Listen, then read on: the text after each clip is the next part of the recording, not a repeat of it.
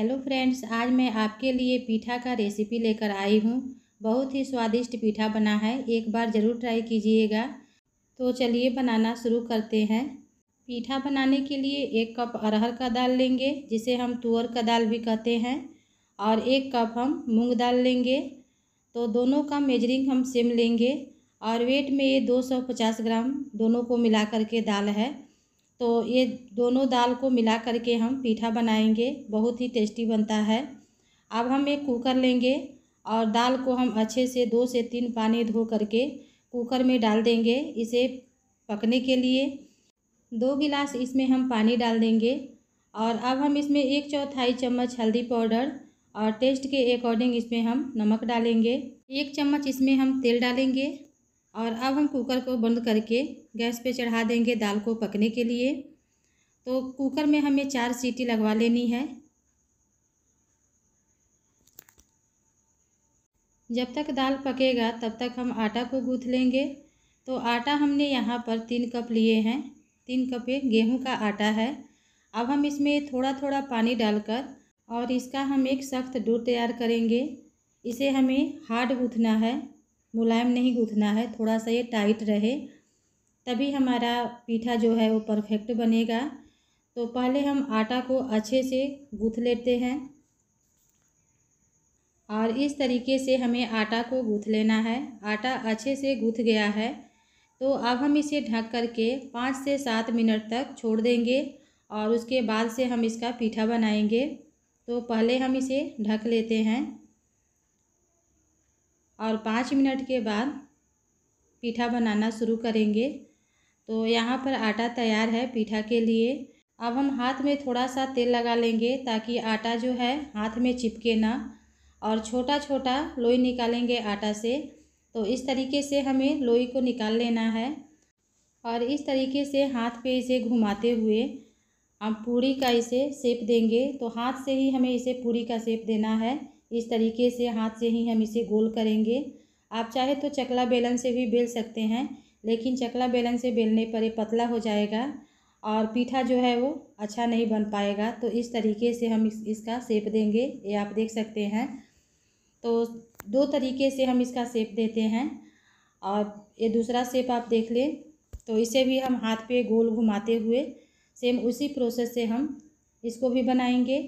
और इसको हम तिकोनी साइड के बनाएँगे। इस तरीके से हम, ये आप देख सकते हैं।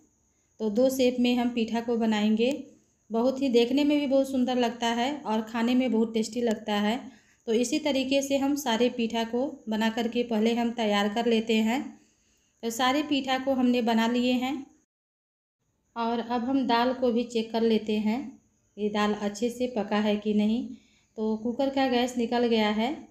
और दाल को चेक कर लेंगे। ये आप देख सकते हैं, दाल जो है अच्छे से पक गया है।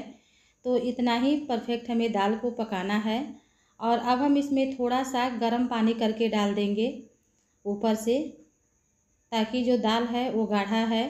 तो एक गिलास के लगभग हम इसमें पानी डाले हैं। और अब हम दोबारा से गैस को जला करके कुकर को रख देंगे। और दाल गर्म है तो इसमें हम पीठा को डालते जाएँगे इस तरीके से।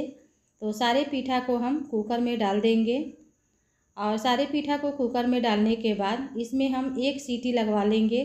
कुकर को बंद कर लेंगे और कुकर में हम एक सीटी लगवा लेंगे और एक सीटी आने के बाद गैस को हम बंद कर देंगे और इसे ठंडा होने तक इंतज़ार करेंगे।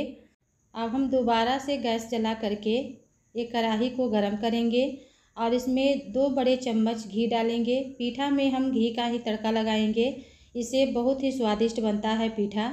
एक छोटा चम्मच जीरा डालेंगे और थोड़ा सा इसमें हम हींग डालेंगे। इससे फ्लेवर बहुत अच्छा आता है। और बारीक कटा हुआ तीन से चार लहसुन डालेंगे। इसमें कटा हुआ लहसुन का फ्लेवर बहुत अच्छा आता है। और अब हम एक बारीक कटा हुआ प्याज डालेंगे। इसे हम बारीक चॉप कर लिए हैं। और इन सब चीज़ों को हम अच्छे से पका लेंगे। और प्याज को हम गोल्डन ब्राउन होने तक पकाएँगे। और अब हम इसमें बारीक कटा हुआ दो से तीन हरा मिर्च डालेंगे और प्याज के साथ इसे भी भून लेंगे। प्याज अच्छे से भून गया है तो अब हम इसमें एक बारीक कटा हुआ टमाटर डालेंगे। टमाटर प्याज को अच्छे से पका लेंगे और टमाटर प्याज को हम दो मिनट तक लो मीडियम फ्लेम पे पकाएँगे। अब हम इसमें थोड़ा सा नमक डालेंगे और ध्यान रहे कि दाल में हमने नमक डाला है। तो प्याज टमाटर के साथ नमक को अच्छे से मिक्स कर देंगे और अब हम इसमें मसाले डालेंगे। थोड़ा सा हल्दी पाउडर, आधा चम्मच लाल मिर्च पाउडर और एक चम्मच हम इसमें पाव भाजी मसाला डालेंगे। बाकी दूसरा कोई मसाला इसमें हम नहीं डालेंगे, इससे फ्लेवर बहुत अच्छा आएगा। अगर आपके पास पाव भाजी मसाला ना हो तो इसमें आप मैगी मसाला भी डाल सकते हैं। इससे भी फ्लेवर बहुत अच्छा आएगा। और गैस निकल गया है तो अब हम कुकर को खोल देते हैं और ये आप देख सकते हैं कितना लाजवाब पीठा बना है।